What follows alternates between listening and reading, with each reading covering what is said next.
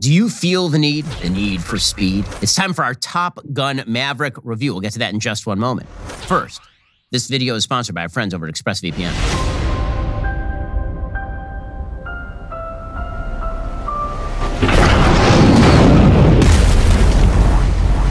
So, Top Gun Maverick, it stars Tom Cruise, who was in what they call development hell for quite a while. It had actually been produced a couple of years ago, and then thanks to COVID, it had been delayed because they wanted to put it on the big screen with crowds.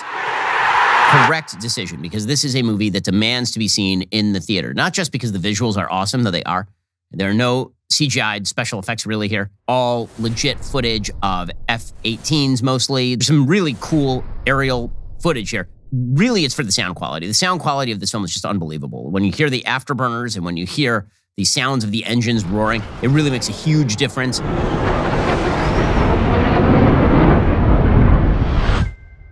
Here's the short review. It's awesome. It's great. It's really, really fun. So, you don't have to be a fan of the original Top Gun in order to enjoy this film. I'm not a huge original Top Gun fan. I just don't think it's that great. But the sequel is actually pretty awesome in all the right ways.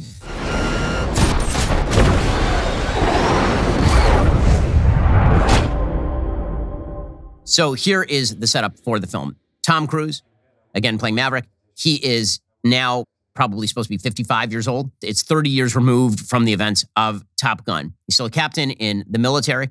Ed Harris, who is now an admiral, he directs him to the Top Gun program to train the best of the best for a specific mission at the behest of Val Kilmer, because Iceman is back for a very brief but meaningful cameo. With all due respect, sir, I'm not a teacher. Just want to manage expectations. The mission is to destroy a nuclear facility in Iran. So they call it the enemy. It's pretty obviously Iran. This impossible mission where they're basically supposed to bomb the Death Star. The entire mission is clearly modeled on Star Wars Episode 4. They're supposed to run down this valley 100 meters, I believe, off the ground. Because if they do go above that, then there are surface to air missiles that are going to strike them. Supposed to go through this ravine, up and over a mountain, flip over the plane, come down, bomb the facility, zoom out over almost a cliff, which, as they come out, is going to bring them into conflict with enemy aircraft. And he's clearly the best pilot in all the Navy.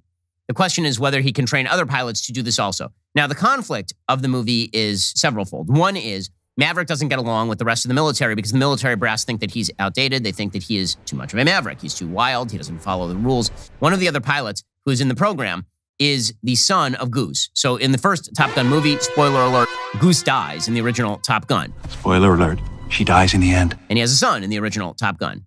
And his son has now grown up and is Miles Teller, who does a really convincing impression of Goose, right? He actually he acts like him, he looks like him, and all the rest. And so he is one of the pilots in the program.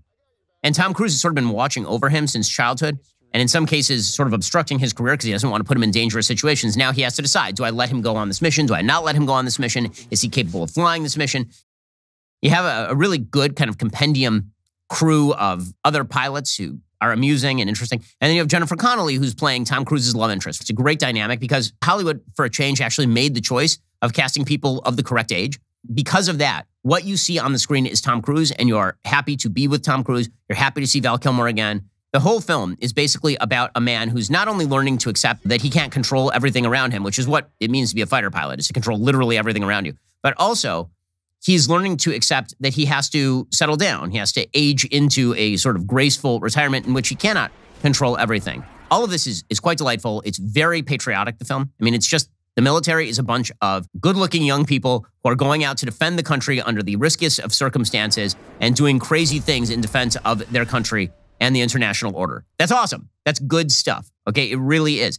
And again, the footage is terrific. I will say Tom Cruise is a movie star. He is a movie star movie star. He may be the last true movie star. He's incredibly winning. He could coast by on his charm. There are a lot of actors who do this in sort of the late stage of their career. Tom Cruise is still going flat out. He does his own stunts in a lot of these movies. Puts himself through, apparently, in this case, like three months of pilot training with the rest of the crew that he could look convincing in doing the piloting sequences and he really brings his A game in this. The movie's really just about him. Miles Teller is in it, but is not really given tons of screen time. Jennifer Connelly is in it and is wonderful and delightful, but she's not a main character. The whole movie is basically just following him. It's actually quite moving.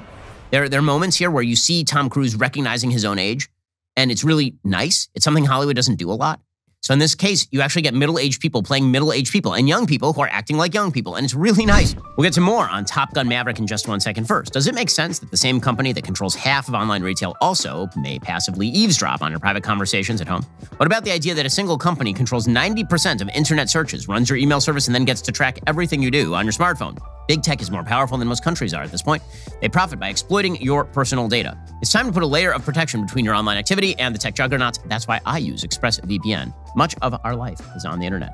Sadly, every site you visit, video you watch, message you send gets tracked and data mined. When you run ExpressVPN on your device, the software hides your IP address, something big tech can use to personally identify you. So ExpressVPN makes your activity harder to trace and sell to advertisers. ExpressVPN also encrypts 100% of your internet data to keep you safe from hackers and eavesdroppers on your network. What I like most about ExpressVPN is how easy it is to use. All I have to do is open up my phone, it says not connected, and then you hit the button, and magically it is connected. Behold! All my internet activity is now protected. Well, you can protect yourself the way I do with the VPN I trust to keep me safe online. Visit expressvpn.com slash BenYT. Get three extra months for free. One of the things that Hollywood very often gets wrong aside from the idea that they they will not give you what you want. They're more interested in surprising the audience than in pleasing the audience. That's not what this movie does. It gives you precisely what you want on pretty much every score. The other thing that Hollywood does here is it just treats the military as people who are awesome because they are awesome. And Hollywood has spent decades treating the military as either victims of mental health problems or people who are victimized by the evil American regime or as imperialists themselves or as corrupt or as terrible. At the very least, as people who are really sort of damaged people in the military. That's not what you get from this. You have people who are under enormous stress, but these are people who are not damaged by the enormous stress. They're people who are just strong. And that's cool. It's good to portray people in the military that way because the vast majority of people in the military are that way. There's sort of just a baseline patriotism about the film. It's never spoken. But I mean, there are things like Tom Cruise gives a speech and he's in front of a giant American flag. I'm glad to see Hollywood actually appeal in this film to an American audience this movie is going to play better, I would imagine, in the United States than it will abroad. It'll probably play abroad because, again, they don't actually name the nation that's being attacked here. They don't name the nuclear facility. They say it's the enemy. And They just say it's that, that's what they use throughout the film, so it's not to offend anybody. But the film itself is pretty red, white, and blue. And that's just assumed as the backdrop, which is the way movies used to be. So it has a real throwback feel. They get it right. Score is really good. So they, they took all of the original music and then they ran it through the Hans Zimmer machine because Hans Zimmer actually did the score, at least in part. He used the themes. And uh, it comes out great. Cannot recommend highly enough. Think it's wonderful. Uh, it's going to make a bunch of money. It should make a bunch of money. I haven't met anyone who's seen it yet who has not enjoyed the film, which is a rarity. There's a reason it's doing so well on Rotten Tomatoes. And if you're looking for a joyful theater experience, it really is a, an enjoyable and joyful theater experience, this is the movie to see.